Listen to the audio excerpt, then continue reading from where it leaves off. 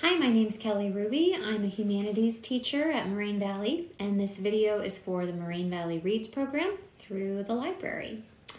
So, we were asked to choose a book that is important to us, or that has impacted us in some way, or just a favorite book.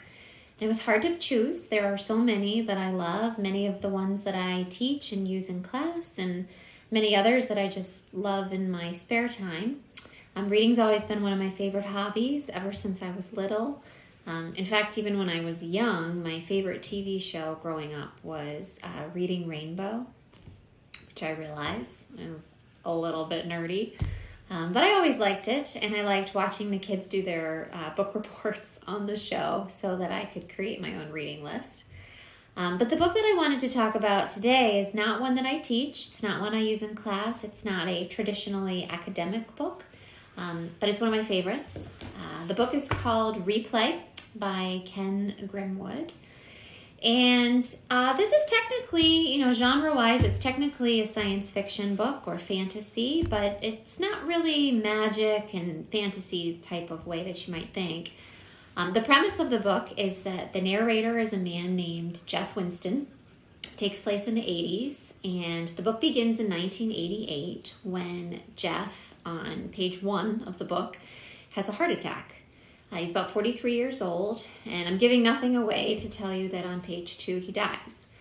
Um, but on page three, Jeff opens his eyes and he finds himself back in 1963, smelling familiar smells and sort of seeing things that look vaguely familiar, although he's disoriented.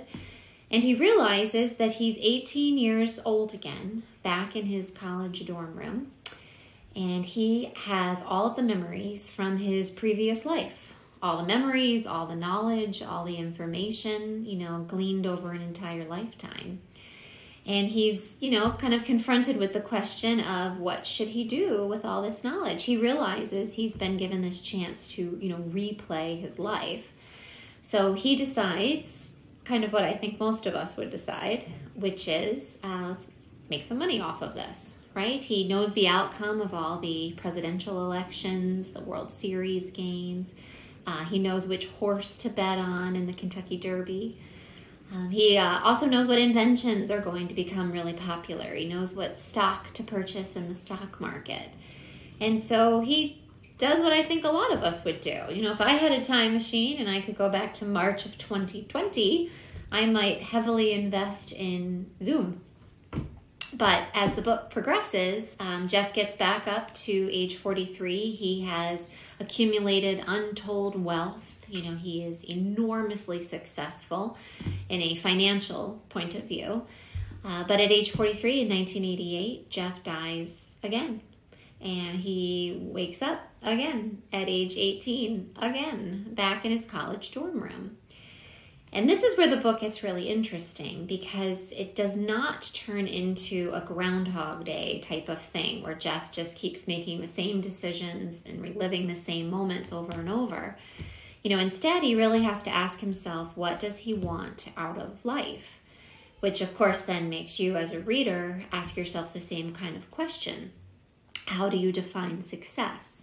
You know, is success because you have a great job or because you earn a lot of money and you're financially stable?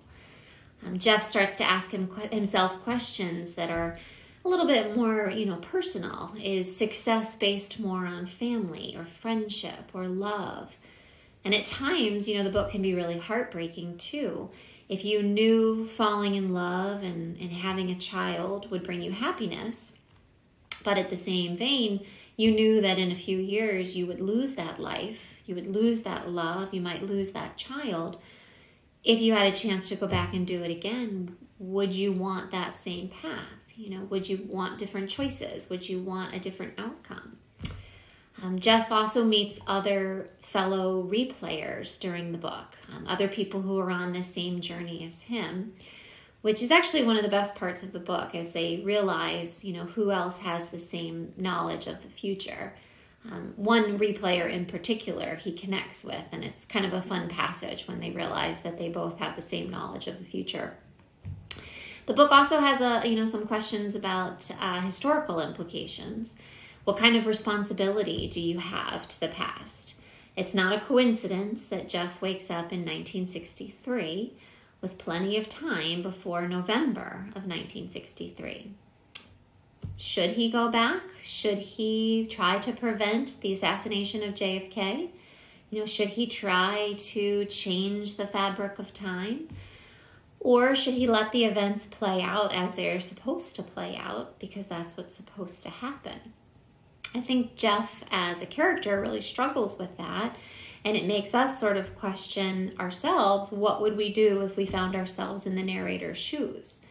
I think about this every time I read the book, every time I go back to it and choose different passages. If I was 18 again, would I pick the same career? Would I pick the same path? Would I live in the same city? Would I choose the same types of things and decisions?